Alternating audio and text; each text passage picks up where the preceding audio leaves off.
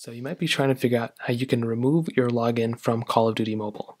Now, this is kind of like a multi-part thing, but the first thing you want to remember is that within Call of Duty Mobile, as soon as you boot it up, you'll basically be prompted to log into your account. But if you want to like completely remove your Call of Duty account and everything related to Call of Duty Mobile, what you're going to want to do is you want to go ahead and just make sure that you can probably either delete Call of Duty Mobile from your phone or just temporarily remove it because if you're still trying to play that account, it's not going to work out.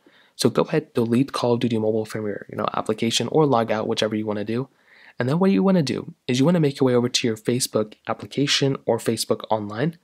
So you want to go into Facebook, and what you're going to want to do here is you want to scroll down. You want to get into your profile page, which is all the way to the right. You then want to basically scroll down until you see settings so click on settings, and then what you're going to want to do is basically scroll down until you see apps and websites. So now under apps and websites, what you're going to want to do is click here. And then right under here, you're going to see a list of different applications that you have.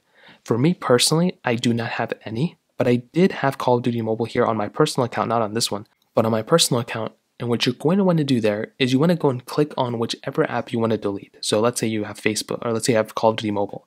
We're going to click on Call of Duty Mobile, and what you're going to want to do there is you're going to want to turn off or remove that login from Call of Duty Mobile.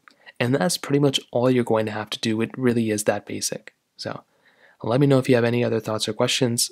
Hit the like button if you enjoyed the video. More importantly than everything else, I love every single one of you guys. Hopefully I'll catch you guys in the next video.